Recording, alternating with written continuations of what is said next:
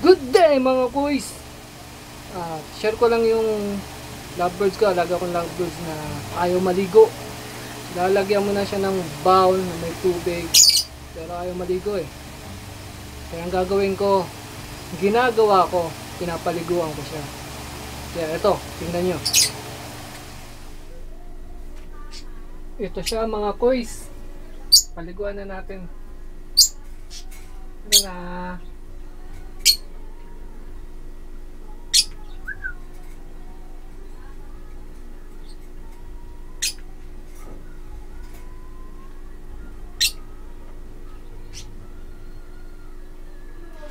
Ito siya boys. Niligo na. Paliguan na natin.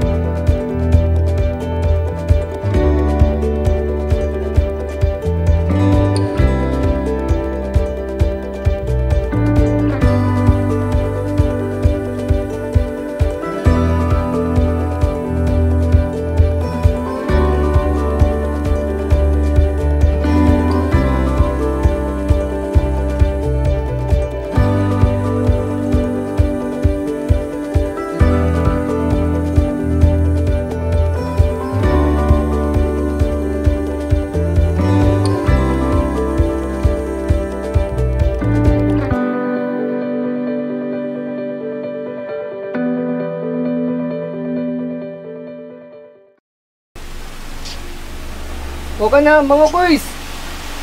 Ano siya? Pinunasan ko na rin. Ano? Mabango ka na. Huwag ka na magpapapawis ha.